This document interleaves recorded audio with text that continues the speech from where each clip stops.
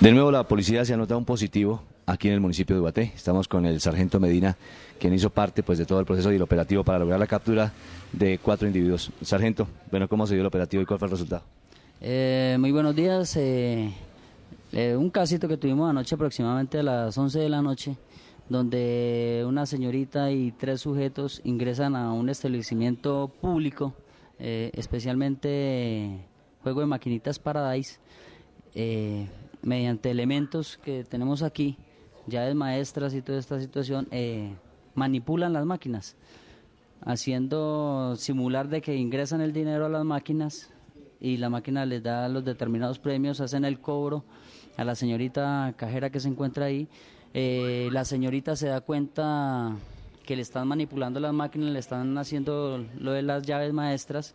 Ella inmediatamente eh, pues reacciona manifestándoles que porque le estaban manipulando las máquinas, salen en huida, la estrujan, la empujan, se montan en un vehículo, un vehículo Mazda, emprenden la huida.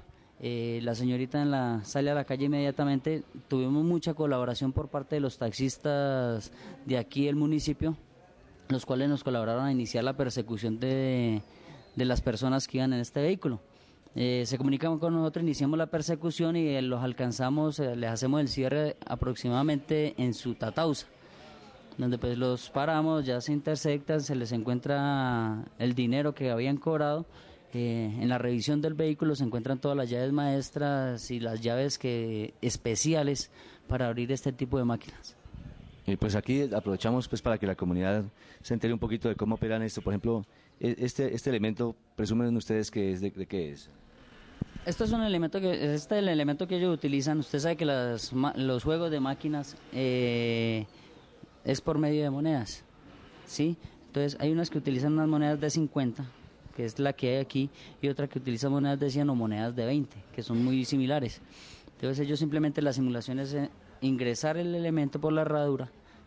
Si es de 50, pues hacen la simulación de que hacen el cobro, o si es de 100, pues ingresa igualmente y vuelven y los retiran y pueden ellos estar jugando. Y, entonces es un desfilfarro que le van haciendo igualmente a los establecimientos. Eh, ya se ha tenido casos, no solo aquí, en muchas partes donde hay este tipo de máquinas, eh, donde a los mismos empleados les ha tocado de bolsillo de ellos pagar estos desfalcos porque pues, no hay más forma de, de, demostrarlo.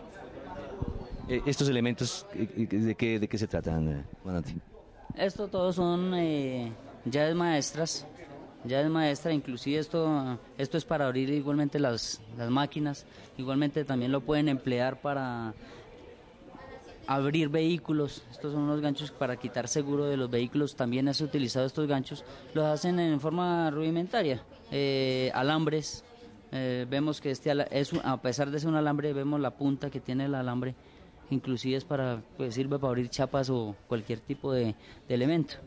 Eh, también poseían las llaves, lo que son las llaves originales. Estos son llaves originales.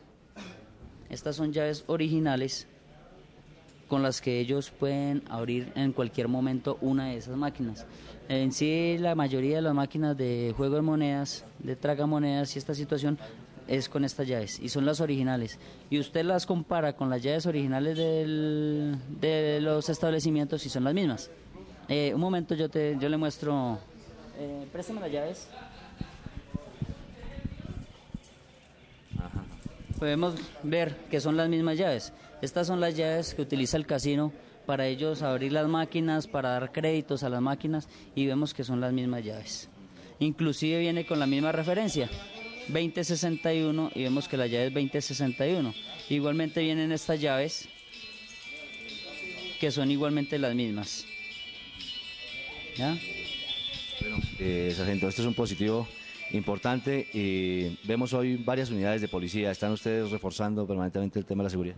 Sí, en el momento estamos contando, gracias al Comando de Departamento de Policía Cundinamarca, eh, nos están apoyando con un grupo del ENCAR con 40 hombres eh, que los tenemos en los distintos planes operativos aquí en el municipio y pues estamos haciendo un trabajo importante en cuestión de requisa de todos los establecimientos, sectores de los parques y toda esta situación pues para mejorar la seguridad del municipio.